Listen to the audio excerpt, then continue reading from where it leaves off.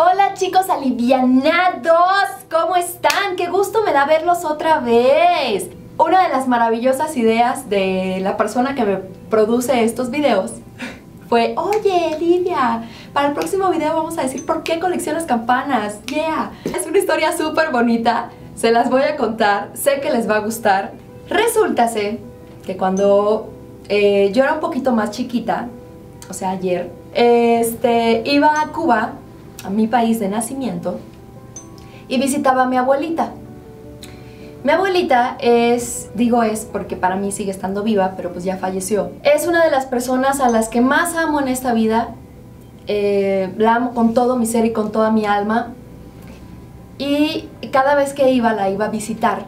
A su casita tenía un departamento chiquitito. Y eh, resulta que mi abuelita, poquito a poquito, fue perdiendo la voz porque tenía esta enfermedad que todos conocemos que es muy grave tenía cáncer. Eh, llegó un punto en que mi abuelita pues ya no podía hablar y le faltaba la voz y estaba postradita en una cama y ya no podía casi moverse y entonces eh, le pagamos una, una señora, una enfermera para que la ayudara porque pues nosotros estamos aquí en México y, y la familia que está allá pues tenía muchas cosas que hacer y la iban a visitar y todo y yo tenía este cargo de conciencia de que pues no estaba con ella.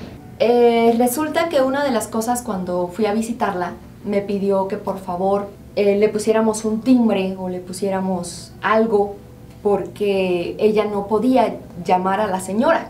Y empiezo a contar esto y me dan ganas de llorar.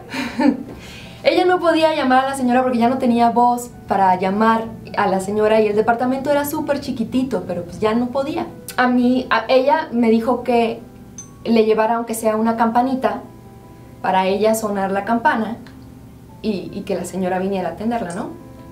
Decía, sí, mami, claro que sí, yo este, cuando venga la próxima vez te voy a traer este, campanitas y no te preocupes, vamos a mandarte a poner un timbre porque es más fácil un timbre que una campana, pero si tú quieres una campana, yo te traigo una campana. Y cuando regresé y ya le llevaba su campanita, pues mi abuela ya no estaba, ya había fallecido y ya no la pude ver, ya no le pude entregar sus campanas. Y entonces cada vez que voy a algún lugar, cada vez que voy a algún país, cada vez que estoy en, cualquier parte del mundo, me acuerdo de ella y compro una campanita del lugar, aunque sé que nunca se la voy a poder entregar. Y esa es la historia de por qué colecciono campanas. Es una historia muy íntima, es algo muy personal, muy bonito según yo, muy triste y me da mucha melancolía cuando cuento esta historia y pocas veces la, he, la he contado.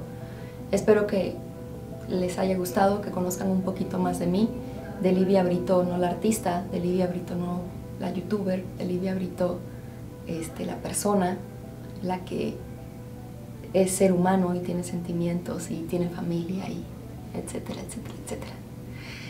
Bueno, alivianados, les mando muchos, muchos besos, los amo, porfa, si tienen historias como estas, personales que me puedan contar, escríbanlas en los comentarios, yo con mucho gusto leo todos sus comentarios, este, me ayudan mucho porque me dan ideas para hacer otro, otro tipo de, cosas que a ustedes les interesa ver dentro de este canal. Y este, si te gustó este videito, por favor dale el like, comparte, ve los demás videos que tenemos este, por ahí abajo. Eh, te dejo mis redes sociales, por acá están. Y este, activa tus notificaciones para que cuando yo ponga un videito te avise que Livia, el alivianado se acaba de, poner un nuevo video y vayas corriendo a verlo. Les mando miles de besos. Perdónenme si me puse sentimental. Les mando besos, los amo, aliviánense con Livia Brito. Disfruten la vida, que la vida es bella. Chao, pescado.